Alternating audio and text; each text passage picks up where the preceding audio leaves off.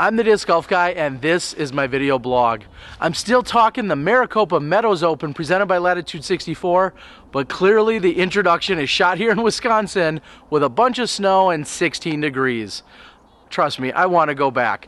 One thing we're going to talk about today, though, that I've never done in 363 previous videos, is we're going to break down one component of the game, specifically jump putts or step putts. We saw both Dave Feldberg and Paul Ulibarri with their version of a step putt, which have become very popular, and we see them by a number of our professionals out on the tour.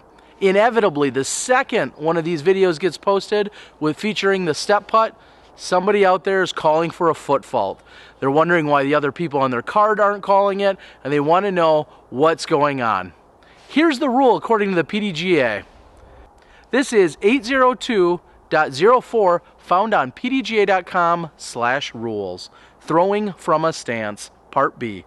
When the disc is released, a player must 1. Have at least one supporting point that is in contact with the lie, and 2. Have no supporting point in contact with the marker disc or any object, including the player surface, closer to the target than the rear edge of the marker disc. And 3 have all supporting points in bounds. So, you be the judge. I've broken these down for you in real time, 50% slow-mo and 15% slow-mo. You'll see a number of putts by both Paul and Dave, and then you can let me know what you think as to if they're truly foot faulting or not. Again, that's PDGA rule 802.04. Check it out for throwing from a stance, and let's see what you think.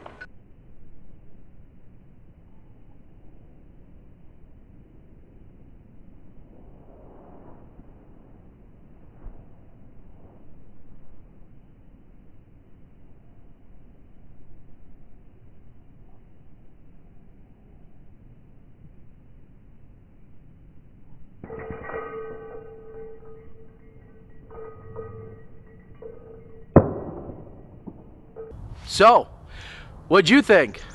Personally, disc golf guy stance on this, pardon the pun, they look completely legal to me. Each time you see them throw, their left foot is coming down just moments after they've already released the disc, therefore making it a legal putt and a legal throw.